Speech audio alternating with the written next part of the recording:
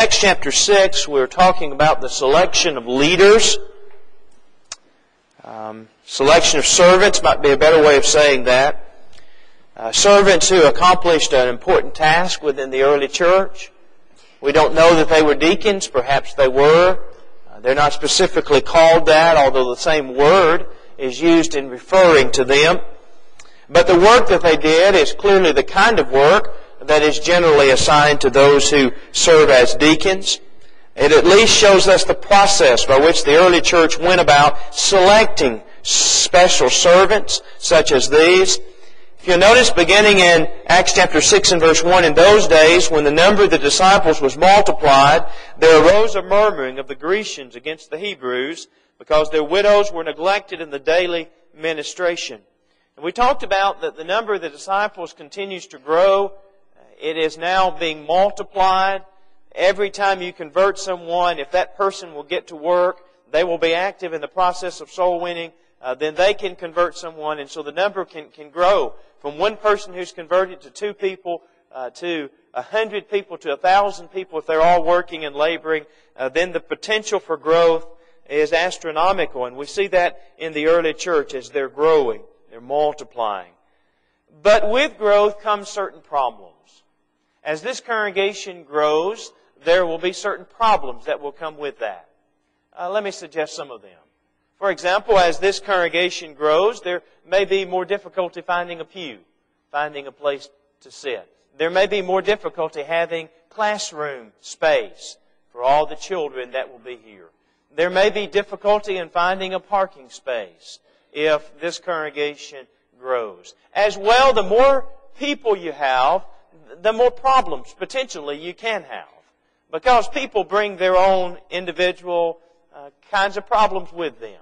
Uh, whether they be financial problems, whether they be personal problems, whether they be uh, family problems or marital problems. When you get people, you get problems. That's just the way it is. And we understand that because we have our own share of problems. And the more people you get together, sometimes the, the more conflicts that you can have between people, the more cliques perhaps that can develop in other things. And so we have to understand that growth, although we desire it and although we want it, we have to be prepared for it because it will bring a unique set of problems for us. And we have to be ready to handle uh, those problems or growth will stop or other problems may uh, may come about. And so that was true of the early church. The early church is growing tremendously. And as it is growing, then there are certain problems that come up. And one of the problems that comes up is, how do you care for all these people? How do you make sure that all these people's needs are being met? How do you make sure that, that no one's being overlooked in this? You know, that's a problem even in a congregation this size. It's a problem sometimes in a visitation program, for example, to make sure that no one gets overlooked to make sure that if someone is sick, that they get the visits that they need. If someone isn't attending, that they don't merely fall through the cracks, but that we know that they've not been attending. We know that they're in need of encouragement. We know that they're in need of restoration. It's easy for, for some to be neglected. We don't want to do that. Uh, we don't want to be a respecter of persons because God's not a respecter of persons. And if we're going to be like God, then we too must treat all men fairly. We must always try to treat all men the same. And so we have to be concerned about matters like this. Also, we have to understand that there are some people who naturally are, are going to get more than other people do. That's not intentional, but let's face it. There are people who have more connections than other people do. There are people in this congregation that, that know everyone in this congregation. Everyone knows them, everyone loves them. Then there are other members of the congregation who haven't been members as long. Uh, their family history doesn't go back as far as this particular individual or family does. And so they're relative newcomers. They haven't made all the contacts. People don't know them as well. There are some people that are more outgoing than what other people are. There are some people who are, are, are, are more um, prone to visit and be involved in helping other people than, than, than some people are. And those people naturally are going to get more attention. They're going to get more visits. The Bible teaches that he that hath friends must show himself what? friendly. And if you're friendly, then you're likely to have more friends. And so that, that, we know some of that's natural. But at the same time, we do not want anyone to be neglected. We do not need anyone to be overlooked. In fact, sometimes those who are most likely to be overlooked are the ones who need it the most. They're the ones who desire it the most. Other people may be strong enough to overcome being overlooked when and if that happens but some individuals cannot. And so we need to be aware uh, that these problems can exist, and they did exist in the early church. There was a murmuring that took place. We talked about murmuring goes back a long way. It goes back to the children of Israel in the Old Testament, all the murmuring they did against Moses and against their leaders and how displeased God was with that. Well, here's the church. Here's spiritual Israel. There's murmuring in it as well. And the murmuring is, has a racial overtone to it. It's the Grecians against the Hebrews. Greeks and Hebrews. Now, we've talked about the fact that, that there, there were Jews scattered throughout the world, and there were people who had been converted to Christianity from various places. Well, if you had been converted to Christianity, for example, on the day of Pentecost, but you live somewhere else, then there might be the desire on your part, and likely would have been the desire on your part, to have relocated to where the church is, to where the church is strong, where the church is growing and prosperous.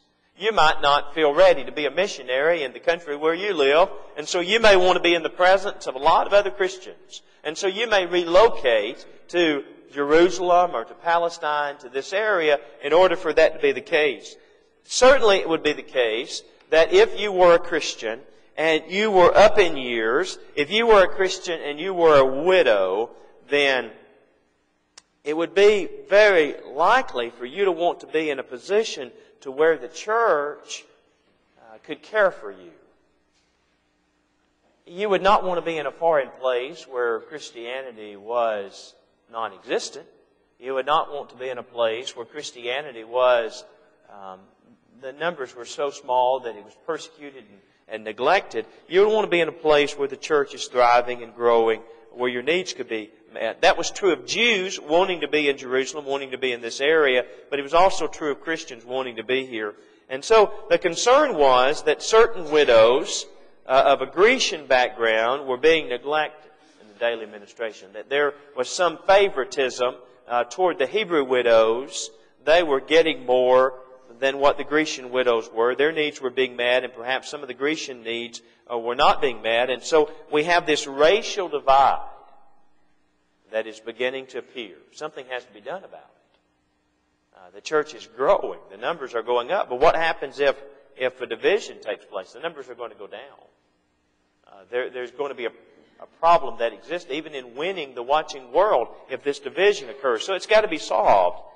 And the, the apostles are going to go about to solve it, to making sure uh, that this has a, a right resolution to it.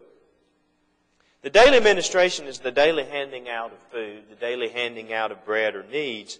And we've already seen earlier in the context that those that had were willing to sell and willing to give to care for those who didn't. Uh, widows naturally would have fallen in the category of those who didn't have very much. So they were more dependent. Now the same rules apply that we will see later. The widows that received help were widows indeed. The younger widows were not to be ones uh, that were put upon the daily dole, that were put upon the daily handout of food. That might be a temporary thing, but it should not be a long-term thing for them. They had a way of providing for themselves because of their age and because of their health. They also had, had the greater possibility of being able to marry. They, they had other ways of taking care of their needs and should not be chargeable to the church. And also is the case, you do not want to encourage them. The Bible makes this clear. You do not want to encourage them to be idle. You do not want to encourage them to be busybodies in other men's matters. And if you put them on some type of assistance whereby they don't have to work, they don't need to work, whereby somebody's providing all their needs for them, uh, then the tendency for that goes up. Now, we know that's true in a governmental sense. In fact, we see it in our own country, right? We see in our own country uh, that there are individuals that are capable of working, but who do not work. Um, sometimes they can make more not working than they can working. And so there, there's little encouragement other than just doing the moral thing and doing the right thing and being responsible to go out and find a job because they actually would have less money. They would be in a tighter situation if they did go out and find a job uh, than what they are. And, and so that encourages idleness. It encourages the very things that the Bible is trying to discourage. Well, obviously, uh, the, the church does not want to fall into that model or that mold. It does not want to get into the habit of, of putting people on this type of assistance. Its resources are more limited uh, than what the governments are. Uh, plus the fact that that's not what its mission is. That's not what its purpose is. Its mission is to win the world for Christ. Its mission is to evangelize. The number one purpose of the church is not benevolence. Now, benevolence is a part of the work of the church. It is something that we do. We need to do it, but it is not our number one work. It, it, it is not the end that we are seeking. It is, it is something we do because it's something Jesus did, and He's encouraged us to do it. Uh, but sometimes uh, congregations, sometimes churches lose their focus, and it becomes uh, their focus becomes about benevolence. And that's never to be our focus. Our focus is to meet the spiritual needs of men. We only meet their physical needs as a means to that end, to get to helping them with their spiritual needs. And when we lose perspective in that, uh, then, we have problems. The early church did not lose uh, that perspective. They understood what their number one mission was. In fact, the apostles understand what the number one mission is, right? We're going to give ourselves to the ministry of the Word. We're going to give ourselves to prayer. That, that's what our job is. That's what we need to be doing. Do these widows need to be cared for? Absolutely. But that's not our focus. It's not going to be our focus. We're going to be focused on teaching and preaching God's Word. We're going to be focused on giving the bread of life to people and not merely providing them uh, with, with physical bread. But it's easy. It's easy to lose our perspective in that. Let me make some other points here. It is not the work of the church to make house payments for people. It's not the work of the church to make car payments for people. It's not the work of the church to do those kinds of things. Now, do we from time to time do that? Absolutely. But there's caution that has to be exercised there, right? Because when we start doing that, would anyone like for someone to make your house payment for you? I would. You want to make mine next month? I'll sign you up. If you want to make the month after that, I'll sign you up for that too. As long as you want to do it, I'll be glad for you to do that. Why? Because it's a lot of money, right? It's a financial burden that we bear. Could I be in a position, could you be in a position because of a loss of job, because of health concerns or other issues where I stand in the position of losing my house if a payment isn't made? And perhaps someone could make a payment in order for me to be able to get a job, to be able to do that. It's foolish to let a Christian lose his house because you can't make a payment, right? And if we care about people, we love people, we try to come to their aid in a situation like that. That makes sense to do that. But my point is this. That's not the business of the church. And if we allow that to become our business, if we allow our business to be providing food and clothing and shelter and making payments, whether it be a light, light bill or water bill, if we allow that to become our focus, then we've gotten away from what our real mission and purpose is. The Son of Man came to do what? Seek and save the lost. He didn't come to pay light bills or water bills or whatever. Did he care about people? Did he help people? Absolutely. But he didn't come to do those things. He came to seek and save the lost. Why, did he show the compassion that he did? Why, why did he provide bread for people? Why did he heal people? Well, they needed that. But that never was the end that he had. The end that he had was to save their souls. That has to be the end that we have. And we, we have to be concerned. Uh, let's be aware of the fact that there never will be a shortage of hands out. Never going to be a shortage of those. In fact, you remember what Paul would say in Galatians chapter 2. The poor you have with you always. Paul says there are always going to be poor people. The poor people are never going to go away. They're always going to be here. There's always going to be an abundance of them. And so if your mission becomes merely to provide for the poor people, then you're never going to run out of poor people. In fact, to some degree, the more you help, what happens? The more there are to help, right? Because word gets out. You want word to get out. You want word to get out that the Southaven Church of Christ is a caring group of people, and they'll help you if you really need help. You want that, right? But you want it be, you want it to be for those who stand in need. That you want it to be a positive thing, not a negative thing. You want it to encourage people and help people and not to um, condone um, sometimes the choices, bad choices that people make and encouraging them to continue in that. But here are the Grecians and Hebrews and this difficulty that comes up. The twelve, that's the apostles, Luke uses this expression more than anyone else, called the multitude of the disciples unto them and said, It's not reason that we should leave the Word of God and serve tables. The situation had grown to the point to where this was going to demand all the time, all the attention of the apostles, and there was something that they needed to be doing more than this. They need to be preaching, they need to be praying, they need to be doing that type of thing. And so they, are wise enough to understand there's a need for other people. You remember the Old Testament when Moses, Jethro's father in law, gave him some good advice? Moses was literally sitting and judging all day long, judging every case from the smallest case to the biggest case. You remember what Jethro told him? You need some help, Moses. You're wearing away. You're wearing thin. You're, you're, not, you're not going to make it if you keep along this line of doing things. You need to get some men who can handle these. The biggest cases, Jethro says, they can still bring those cases to you. You can render those decisions. But all these little petty things that come about, get some other people to handle that. There are other people that can make those decisions. If there's a big case that no one knows what to do, let them bring it to you. You can solve it. But these other cases, is that not true as well in the work of the church? Is that not what we see here? Are there not other men who can wait on tables and do this? other than the apostles? Absolutely, there are. And so the wisdom says you select those men to do that, and you continue to do the things uh, that need to be done. It says in verse 3, Wherefore, brethren, look ye out among you seven men of honest report, full of the Holy Ghost and wisdom, whom we may appoint over this business. Seven men, probably because that's the amount of men would be needed uh, to solve this. Just a, a guess, but more than likely that's the reason why this number was selected. Uh, other cases might have called for less. Other cases might have called for more.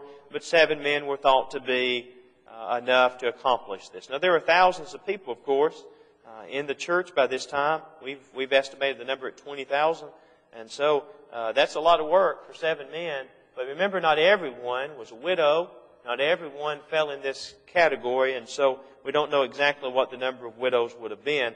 But Seven men evidently could handle it. Notice the kind of men that are to be selected. Men of honest report. The Bible places a lot of emphasis upon reputation, doesn't it? Uh, you remember Solomon in the Old Testament said a good name is rather to be chosen. A lot of emphasis is placed on a good name. Throughout the Bible, we have reference to individuals and the name that they had, the reputation they had. Now, when it comes to selecting elders and deacons, I'm not saying these men are deacons, but I am saying that for the qualifications for elders and deacons, one of the qualifications is they have what? Good report. That they have a good reputation. They have a good name. That's important for those who would lead. That's important for those that would serve. Certainly in a situation like this, where money is going to be handled, where, whether financial resources are going to be handled, they need to be individuals that are honest, uh, they need to be individuals as well who have some ability when it comes to this type of thing, who have proven themselves. We've talked about before among the disciples, there was a tax collector. There was one by the name of Matthew who evidently had some ability with numbers. Well, in the early church, there would have been individuals who were businessmen. There would have been individuals who, who, who had some experience with money and knew how to handle it. Uh, and so it is in the church today. We're blessed with people who have those type of abilities and have uh, honest reputation. And here they do. Notice we continue.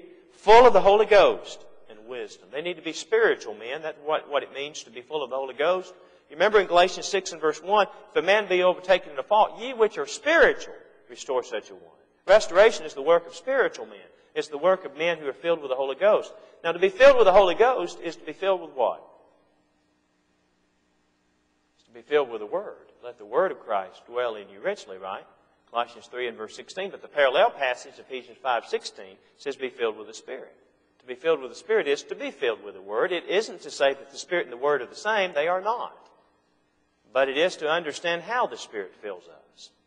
Christ dwells in our hearts by faith. The Holy Spirit and the Father's well dwell within us by faith. And how does faith come? Faith comes by hearing, and hearing by the Word of God. Romans 10 and verse 17. And so to be filled with the Holy Ghost is to be filled with the Word of God. Have a good commanding knowledge of the Scriptures. And these men had that. And, and we see that later on, right? Because two of these men that are mentioned here, Stephen and Philip, are not only serving the church in this way, but what else are they doing? They're preaching, aren't they? They have enough knowledge to be able to go out and teach others, and we're going to see them doing that. And likely, they move from this work to that work, because at some point that work became more important than this work did. As they developed their abilities, uh, they went and they did that. A man, n- notice as well, full of the Holy Ghost and wisdom. These need to be men who have wisdom. Now, you need wisdom just in life in general, but when you work with people, and especially when you deal with problems, you need wisdom. Now, we've got a problem here. The problem can get bigger, the problem can get smaller, the problem can remain the same. What's going to happen to this problem? Well, that depends upon who's put in charge of solving this problem. Some of you remember uh, a number of years ago when the Chrysler Corporation was all but done. It, it had hit bottom. Who are you going to call in? Who can resurrect this company? It's resurrected today, right? Why is it resurrected? Because Lee Iacocca, right? Because they called in the right person to handle that problem. And he rebuilt it from, from nothing. You look at other problems that exist. Get the right person in charge of it. Something can be, put the wrong person in charge with it, and it's over. It's done. Makes all the difference in the world. Here are men who have wisdom. Here are men who not only know the scriptures, but they know how to use it. Wisdom is how to use the facts that you know.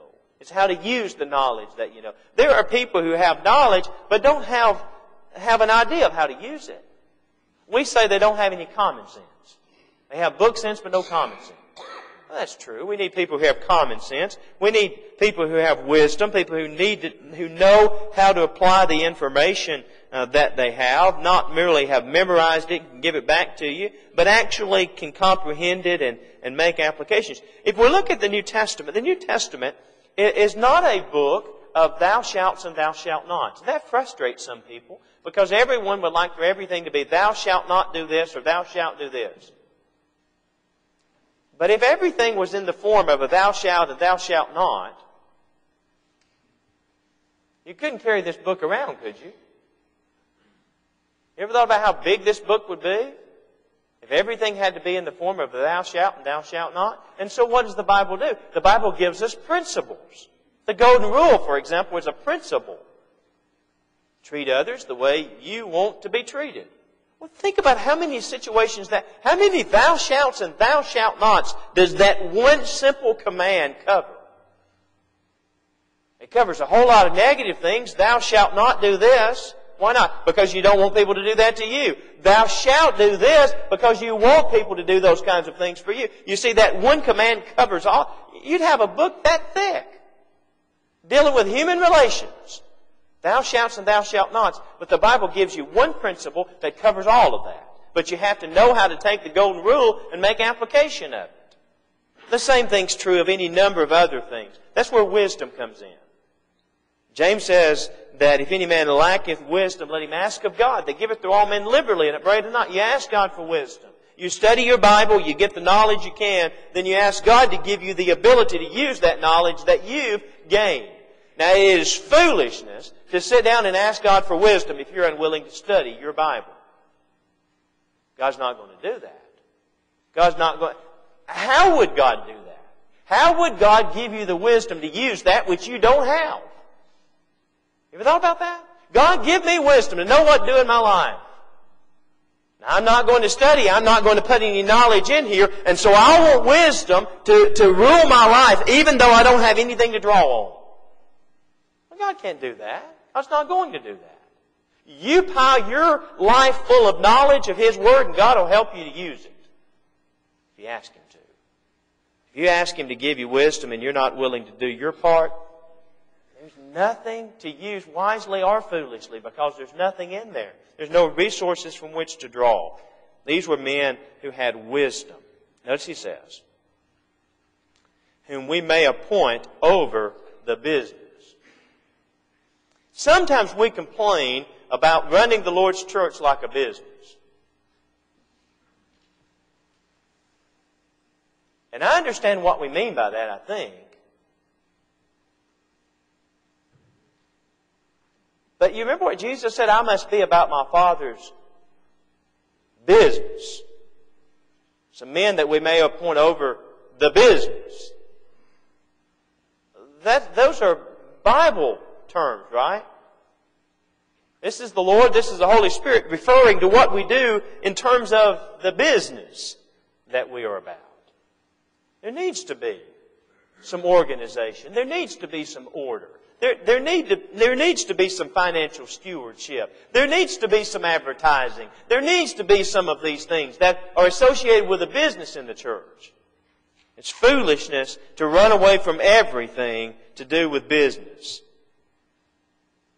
Businesses go belly up, don't they? The congregations ever go belly up? Why do businesses go belly up?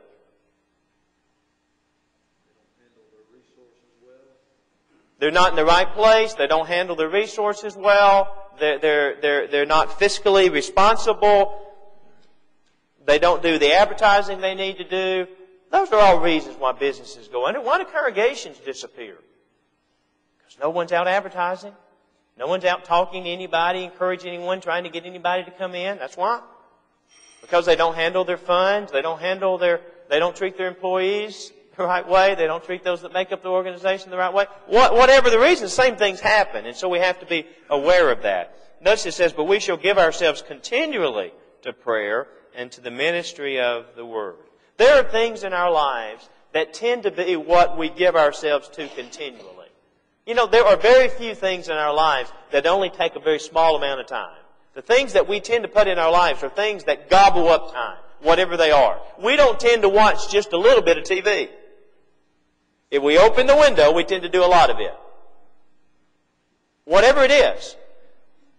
We don't tend to do a little bit of golf or a little bit of fishing. If we, if we take it on, we do a lot of it, usually speaking. And if we don't do a lot of it, we don't do any of it. Right? That's just, we, we, we tend to do that in our lives. We tend to do that with spiritual things in our lives as well. We tend to be, if, if we say, I'm going to visit, and we start visiting, we tend to do a lot of it. And, and if we're not doing it, we don't do any of it. There's no, it's, it's hot or cold in, in many senses in our life with these things. They're, they're going to give themselves continually to prayer, to the ministry of the Word. They're not going to do a little bit of serving and a little bit of praying and a little bit of preaching. No, they're going to do a lot of praying and a lot of preaching and no serving on tables. Because you start serving on tables, you might never get out of that line. Might be there forever. They understood that. They knew what would happen. We have to understand that as well. And the saying pleased the whole multitude, and they chose Stephen, a man full of faith and of the Holy Ghost, and Philip, and Prochorus, and Nicanor, and Timon, and Parmenas, and Nicholas, a proselyte of Antioch.